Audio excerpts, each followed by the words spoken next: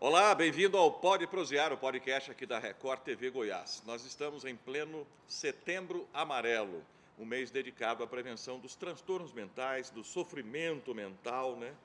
E estou aqui com a Larissa, Larissa Pereira de Matos, que é a coordenadora de um projeto, o projeto Help, que que tenta dar a volta nesses problemas. Né? Como é que funciona isso, Help? Isso, exatamente. Nós do projeto Help somos voluntários que já superaram tudo isso algum dia e a gente é um apoio emocional. Então, através de ações, seja nas pontes, nos parques, dentro dos colégios fazendo palestra, ou até mesmo nos shoppings como estamos neste mês, a gente através dessas cartinhas com frases motivacionais. Ah, tá. A pessoa recebe uma carta mesmo? Uma, uma cartinha dentro desse envelope tem uma cartinha? Tem, tem uma frase. Ah, tá. E dentro dessa frase tem o nosso WhatsApp, que é o Continho do Desabafo, onde as pessoas vão ter um meio ali de pedir ajuda. E não é só pedir ajuda e a gente vai ter, sabe entender eles, porque já passamos por isso algum dia e entendemos o que eles estão passando e sabemos que não é frescura.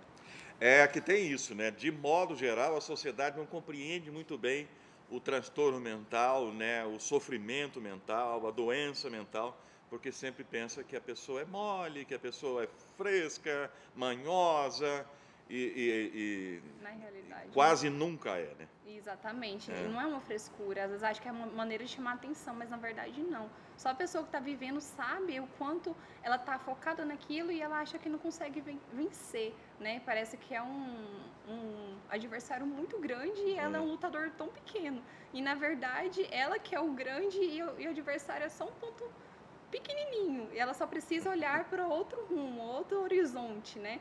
que ela pode vencer tudo aquilo. Então, assim, a gente é, mostrar que aquele problema, ela, é, ela consegue vencer. Né? Ah, tá. Vou usar um exemplo que talvez seja possa considerado grosseiro, assim, muito sim, simplório. Quando a gente tem um problema na nossa TV, na, na tela da TV, tem um pontinho lá que está estragado, né? ou tem uma mancha ali.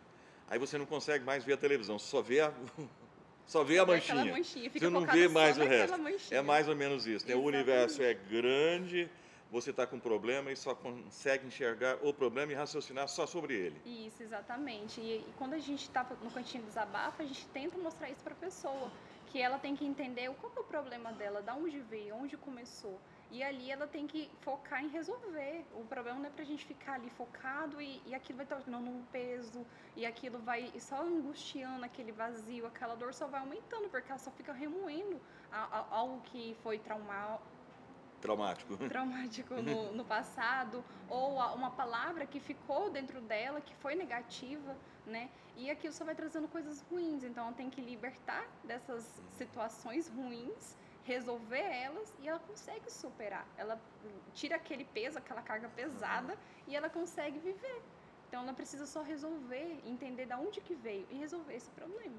E você viveu um, um, um problema pessoal assim? Isso. Foi assim que você despertou para esse problema e, e para ajudar os outros? Isso, exatamente. Quando eu era mais nova, minha mãe veio, eu ouvi uma palavra que no caso ela não tinha me planejado, né? Então assim, eu era uma filha que ela não tinha, não tinha expectativa de ter, né? Naquele momento. Então Você achava... entendeu como uma rejeição? Isso, eu achava que era um peso na vida dela. Então eu tinha uma mágoa muito grande da minha mãe. Então tudo que eu fazia era só pra para causar dor nela. E isso só causava em mim mesmo. E foi hum. quando eu entrei em depressão, eu tinha crise de ansiedades. Então, assim, tentei várias coisas contra mim mesma. Mas hum. querendo desistir de tudo. Mas isso nada resolvia, só piorava e dentro de casa também só ia piorando as situações. Ah, Mas do, através a sua mãe compreendeu ou não? Oi? E, e minha mãe época... não sabia que eu ah. tinha raiva dela, mágoa dela. Minha mãe não ah. sabia, ela só descobriu depois, quando eu descobri que aquele era o problema. Que era aquilo que estava me fazendo mal. Então eu fui, fui até ela, através do projeto Help, eles me mostraram isso, eu tive que pedir perdão. Ah, foi o Help que te salvou? Sim, foi o Help. Ele ah. foi a ah. luz no meu fim do Ah, é? Sim. Aí você conversou com a sua mãe? Isso, e eu entendi que era ali. Então eu, eu decidi perdoar ela. E a partir dali, tudo. Eu vi que aquilo eu fazia um peso uma coisa tão grande, só que eu precisava resolver. Ah, era desse tamanhozinho ficou desse tamanhozinho. Isso, exatamente. É. E você é muito jovem, tinha quantos anos? Eu, isso começou muito nova, nove anos eu, eu ouvi aquela palavra. Então, assim, aos nove anos eu fazia coisas assim que era realmente para atingir a minha família. Isso foi até meus 18 anos. Foi um longo período. Caramba, é muito, foi muito tempo de sofrimento, sim, né? Sim, e, e, e, me parece, assim, pela observação que a gente tem, que é um problema muito comum entre meninos, né? entre crianças e adolescentes. Isso, nas palestras a gente vê muitos casos, né? Já começa ali dos 11 anos, você escuta uma criança falar certas coisas, você fica, como assim, né? É. Uma criança. Ah, muitas crianças, inclusive, atentam com, contra a, a, própria vida e você não compreende. Fala, mas ele tem só 11 anos, né? Uma pessoa, em geral, vive aí 80. Ele tem mais 70 anos de vida. E sabe por que, que ele não compreende ali com 11 anos? E, e ele provavelmente tem uma, uma, parede na frente dele, né? Isso. Se alguém não passar ele para o outro lado, ele não vai descobrir sozinho. Exatamente. E muitas vezes os pais nem sabem o que está acontecendo.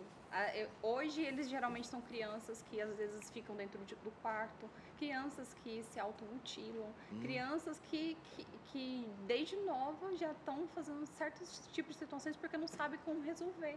Às vezes são coisas que acontecem até dentro de casa e, a, e e os pais não sabem o que está atingindo, né? Não é. é culpa dos pais também, né? Mas a criança acha que às vezes é culpa dela mesma. Então já começa aquilo desde novo, é, a vinha a, aquele peso, aquela culpa. São pensamentos geralmente hum. negativos. E ela acredita que aquilo define ela. E o help socorre também os pais. É, quando é que os pais devem, devem é, perceber o, que a criança, que o filho está com problema? Então, geralmente, geralmente são aquelas crianças que ficam geralmente muito dentro, de, dentro do quarto, geralmente com muito blusa de frio, são muito fechadas, né? É, a, hoje é o que mais está tendo, é crise de ansiedade. Então, através do nosso WhatsApp, muitos pais entram em contato conosco para, às vezes, fazer uma visita, ou às vezes para a gente entrar em contato com aquela aquele jovem, né, para fazer um atendimento, porque ali é totalmente sigiloso. O que a pessoa fala conosco no uhum. WhatsApp é totalmente sigiloso. A gente só coloca à disposição para ajudar ela a sair daquela situação. Ah, é, deve ser difícil para o pai perceber, né? Porque hoje em dia as crianças e adolescentes são muito agarradas com celulares, né? Uhum. com esses, uhum. equipa esses, equipamentos eletrônicos, com tablets, etc. E muito fechadas dentro de quarto. Se tiver o quarto, uma televisão e um tablet, ela não sai de lá nem por decreto. Isso. E às vezes não é, uma, não é uma doença, mas pode ser. É bom prestar atenção. É bom também. E, por exemplo, agora gente, dia 24, a gente vai ter um Mega Help, vai ser num parque, onde os pais podem estar levando. Ali a gente vai fazer palestra, ali a gente vai ter o cantinho do desabafo. Ah. E os pais podem estar levando seus filhos ou um, algum parente, alguém que eles saiba que está passando por alguma situação assim. E nesse dia vai ser o maior evento de valorização à vida né? Que a gente vai ah, tá. estar realizando para mostrar à pessoa que ela pode estar tá se superando. A gente vai fazer palestra, vai ter um musical também. E ali vai ter vários voluntários à disposição para escutar. Ah, é um help vai divertido também. Isso, vai ter uma é. escala de superação, vai ter o tatame da vida, vai ter várias situações para fazer realmente estimular a eles, né? E colocar à disposição. Que o nosso lema é esse, não te julgo, te ajudo. No sentido de ajudar realmente. O, o, deixa, ah, deixa eu só reforçar aqui esse Mega Help, né? Sim. Que vai ser no dia 24, você disse, né? Isso, dia 24. Às 15 horas, né? 3 da tarde, no Parque Marcos Veiga Jardim. Jardim.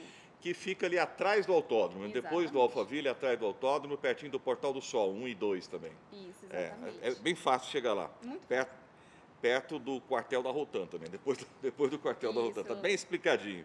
Então, 3 da tarde, nos fundos do autódromo. Ele é um passeio no parque, mas com, com essa pegada de. Isso, a gente vai ter de... a palestra, a gente vai ter um musical, nós vamos ter o cantinho do desabafo, vai ter o mural da superação, então vai ter várias coisas ali para os jovens não ficar ali só parado. Aí eles vai poder fazer alguma atividade e também ali é, aprender a como se superar, porque é através das nossas palestras que ensinamos. Aí não paga nada também, né? Não, é gratuito. Escuta, em, em geral, o, essa abordagem que vocês têm com, têm com os jovens, principalmente, elas dão o resultado que, que, que deu com você, por exemplo? Assim, a, o, o, resultado é, é muito, muito, positivo? Ah, muitas pessoas, às vezes, ficam até surpreendidas, né? Porque não esperam isso né, de uma palavra. E, e muitos lê, é, lê uma frase já fica assim, se emocionam, porque as, e muitas das vezes é o que ela precisava escutar, o que ela precisava ali ler naquele momento, vem de encontro, porque cada cartinha tem uma frase diferente. Hum. Então, e, e surpreende. Hum. surpreende. e surpreende a pessoa, né, é, de ela ler e ser de encontro com o que ela está passando. Então, assim, Ah. e tem ajudado muito. A gente tem resultados no Help que são pessoas que veio através de uma cartinha, de uma palestra, e- ou através da- das ações na rua, que está ali na, na ponte, e entraram em contato conosco, teve o acompanhamento e hoje ela se superou.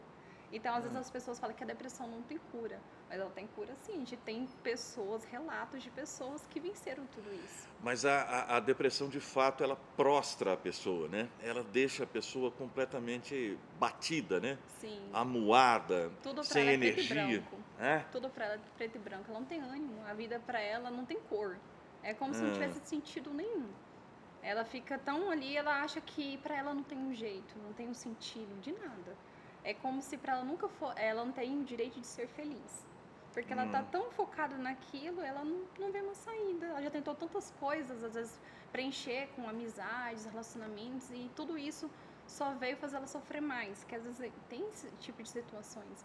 E, e ela acha que pra ela não, tem, mas a gente mostra que tem, porque se a gente conseguiu, por que ela É, não, né? Todo mundo consegue, né? Exatamente. É, é, é, esse seu período aí, ele te, ele te abateu, ele te, ele te atingiu em que medida, assim? No, no, no- no desempenho do colégio, numa relação amorosa, bem no começo da adolescência, para arrumar o primeiro namorado, sei lá como é que é o, o- o primeiro namorado. Enfim, que tipo de, de impacto teve na A sua minha vida? vida era uma frustração. Vida, vida é, sentimental, nada dava certo. Na escola era só ia ruim, porque eu vivia dando crise de ansiedade. O diretor vivia me levando no hospital porque eu não conseguia ficar dentro de sala de aula. Eu não conseguia relacionar com pessoas. E no serviço, eu estava ali, de repente começava a chorar, tinha que ir pro banheiro, porque eu não conseguia. Era, eu não, não tem como explicar. Era, era como se aquela dor tomasse por conta de mim e eu não, não conseguia conseguia nem terminar meu dia ali de trabalho ou na escola. Então Isso é- era assim, Isso era permanentemente ou era, eram Era ciclos, assim? era constante. E isso foram quatro anos, assim, Hum. dessa maneira. E dormindo, às vezes nem conseguia dormir, né? Às vezes à noite em claro chorando. É porque eu mesmo? me questionava por que eu não conseguia vencer aquilo, por que, eu não conseguia ser feliz, eu só queria ser Uhum. feliz. Eu É. não conseguia sorrir. E, e- e teve impacto na sua saúde física também? Eu era uma pessoa muito doente. Por incrível que pareça, o meu emocional, ele atingia o meu, o meu, minha saúde física. O organismo mesmo? Isso, eu, vi- eu era uma pessoa que vivia no hospital, que eu tinha. Eu não conseguia me alimentar direito, eu tinha gastrite, tinha refluxo. Hoje eu não tenho nada disso mais. Antes eu vivi muita dor de cabeça, eu tinha muitas coisas que atingia porque era tudo emocional. Ah, depois que você conversou com sua mãe, que as coisas ficaram mais claras, ela te contou o que desse período? Ela, te ela sofria muito com isso também? Minha mãe sofria muito, a gente não dava certo. A gente era, era uma competindo com a outra, uma pirraçando a outra. Literalmente. Então, assim, a gente ficava três meses dentro da mesma casa sem falar uma com a outra. Porque a gente, ela ficava com raiva de mim, eu ficava com raiva dela. Porque eu pirraçava ela e ela me pirraçava. e era assim, a gente não conseguia ter um diálogo. A gente, e isso afetava a minha família. Até o caso de afetar o casamento dos meus pais por causa desse sentido. Porque a gente não, conseguia. E ela, a gente não conversava. E depois disso a gente começou a conversar. E isso melhorou um, um todo, né? Então, assim, eu, eu, eu vi o que eu precisava melhorar. Que eu precisava ab- abrir mão do que me fazia mal. Porque às vezes a gente fica com aquilo que sabe que nos faz mal e a gente fica, às vezes, uma amizade, um relacionamento, né? E a gente, às vezes, tem que abrir mão daquilo que não está nos fazendo mal. A gente já tá. Ah, não estou terminando, não. Ah, e, e seu pai, como é que lidou com isso? Meu pai, ele É. nem imaginava. Assim, meu pai sempre me respeitei muito. Ah, E o, quando minha mãe veio falar comigo na época, foi exatamente por causa disso, porque ela veio me contar que meu pai era meu pai de, de criação. Eu não sabia ao certo, né? ah, E, e quando ela falou isso, ela veio me contar toda a história que ela não tinha me planejado e que ela tinha arrumado só um pai para me criar.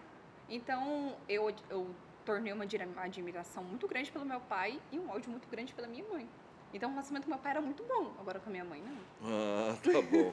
Ah, infelizmente, nosso tempo acabou. Vou reforçar aqui o convite para o Mega Help, então, dia 24 deste mês. Tá que dia da semana? Vai dar no sábado. Vai dar num sábado, 24 deste mês, às 3 da tarde, no Parque Marcos Veiga Jardim, que fica ali atrás do autódromo. Isso. Muito obrigado viu, por, por essa agradeço conversa, muito e boa. aguardamos todos lá. Vai ser muito bom. Ó, uma boa oportunidade para você que tenha, você próprio tem algum problema, que não basta ser, não precisa ser jovem para ter problemas de Hum, depressão, de problemas de transtorno mental, mas se tem alguém na família, né, é uma ótima oportunidade, é um parque, né? É um, pode ser um passeio divertido Isso, um e- e, um piquenique e aprender alguma coisa. Até a próxima.